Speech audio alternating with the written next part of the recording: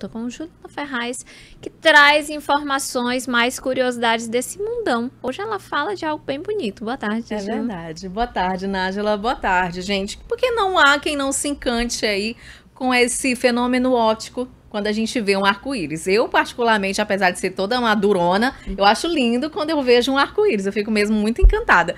E o arco-íris, ele tem uma simbologia e vários significados diferentes.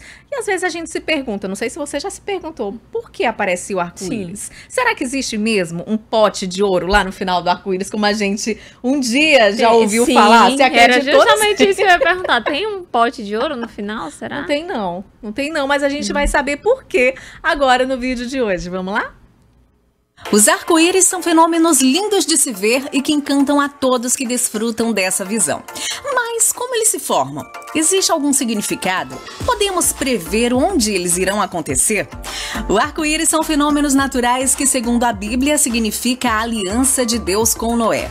Para a mitologia nórdica, era a ponte para o reino dos deuses. Para os irlandeses, no fim do arco-íris contém um pote de ouro. E para nossa crença popular, significa que quem vê um arco-íris tem sete anos de sorte.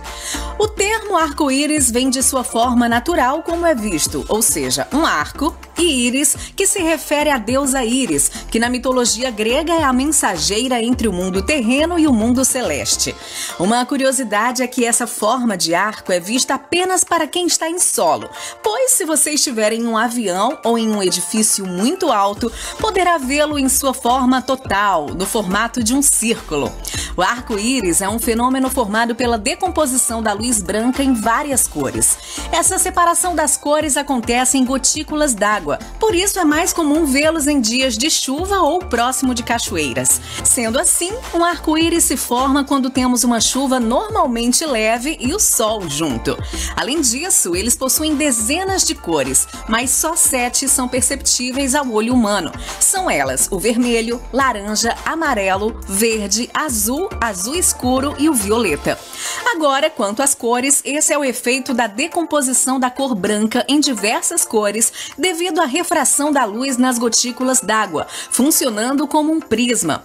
Para se enxergar o arco-íris é necessário estar de costas para o sol. Outro fator que interfere na visualização dos arco-íris é que ele acontece sempre em um ângulo de cerca de 42 graus da pessoa que o observa. E dependendo como você se move, ele pode sumir ou mudar de posição. Ou seja, encontrar o pote de ouro no fim do arco-íris é impossível. O legal é que, apesar de ser um fenômeno natural, é possível reproduzir um arco-íris de algumas maneiras, como por exemplo, utilizando uma mangueira, já que eles são refrações da luz. Mas prever onde eles irão acontecer, aí já não dá. E para finalizar, o mais raro dos arco-íris são os duplos e os de circunferência completa, pois a sua posição em relação ao fenômeno deve ser exatamente propícia a isso. Super interessante. Não é? Tudo luz, né? É verdade, estudando física um pouquinho aqui na nossa tarde de curiosidades. É isso, mas muito interessante saber a origem.